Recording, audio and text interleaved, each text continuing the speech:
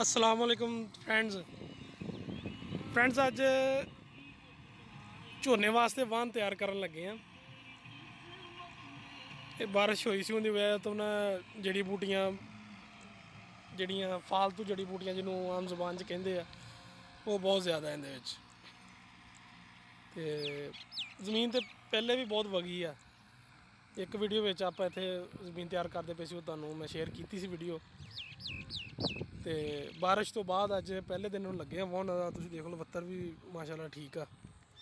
ਇਹਨੂੰ ਹੁਣ ਆਪਾਂ ਇੱਕ ਸੀ ਲਾ ਕੇ ਇਸ ਤੋਂ ਬਾਅਦ ਇਹਨੂੰ ਸੀ ਸੁਹਾਗਾ ਕਰਾਂਗੇ ਆਪਾਂ। ਜਦੋਂ ਸੀ, ਸੁਹਾਗਾ ਕੀਤਾ, ਉਹ ਵੀ ਤੁਹਾਨੂੰ ਅੱਗੇ ਅਸੀਂ ਦਿਖਾਵਾਂਗੇ ਆਪਾਂ ਕਿ ਆਪਾਂ ਉਹ ਸੁਹਾਗਾ ਕਿਵੇਂ ਐਡਜਸਟ ਕਰੀਦਾ। ਤੇ ਸ- ਜਦੋਂ ਸੀ ਸੁਹਾਗਾ ਕਰੀਦਾ, ਸਭ ਤੋਂ ਜ਼ਰੂਰੀ ਚੀਜ਼ ਇਹ ਹੁੰਦੀ ਆ ਕਿ ਤੁਸੀਂ ਸੁਹਾਗਾ ਕਿਸ ਤਰ੍ਹਾਂ ਐਡਜਸਟ ਕਰਨਾ। ਸਹੀ ਸੁਹਾਗਾ ਐਡਜਸਟ ਹੋਣ ਨਾਲ ਜ਼ਮੀਨ ਦੇ ਬਣਨ ਦੀ ਜ਼ਿਆਦਾ ਵਜ੍ਹਾ ਨਾ ਅੱਛੀ ਜ਼ਮੀਨ ਦੀ ਬਣਨ ਦੀ ਜ਼ਿਆਦਾ ਵਜ੍ਹਾ ਸੁਹਾਗਾ ਸਹੀ ਬਣਨਾ ਹੁੰਦਾ ਵਾ। ਤੇ ਅੱਜ ਤੁਹਾਨੂੰ ਉਹ ਸਾਰਾ ਕੁਝ ਦੱਸਾਂਗੇ ਆਪਾਂ ਵੀ ਸੁਹਾਗਾ ਕਿਸ ਤਰ੍ਹਾਂ ਐਡਜਸਟ ਕਰੀਦਾ। ਤੇ ਸੀ ਸੁਹਾਗਾ ਉਹਦੇ ਤੇ ਸੁਹਾਗੇ ਤੇ ਵਜ਼ਨ ਰੱਖਣ ਵਾਸਤੇ ਆਪਾਂ ਮਿੱਟੀ ਦੇ ਦੋ ਗੱਟੂ ਭਰ ਕੇ ਉਹ ਵੀ ਉੱਤੇ ਰੱਖਾਂਗੇ। ਦੋ ਆਪਾਂ ਗੱਟੂ ਭਰ ਕੇ ਦੋਨੋਂ ਸਾਈਡਾਂ ਤੇ ਰੱਖਾਂਗੇ।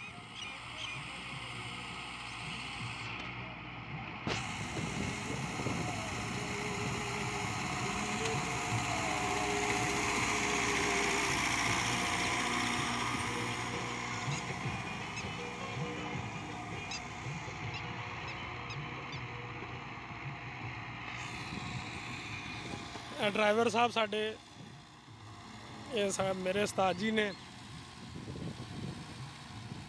ਇਹਨਾਂ ਨੂੰ ਵੀ ਬੜਾ ਸ਼ੌਕ ਹੈ ਜੀ, ਟਰੈਕਟਰ ਤੇ ਟੇਪ ਹੋਵੇ, ਚੰਗੀ ਹੋਵੇ। ਤੇ ਸਪੈਸ਼ਲ ਆਪਾਂ 10000 ਰੁਪਿਆ ਲੱਗਿਆ।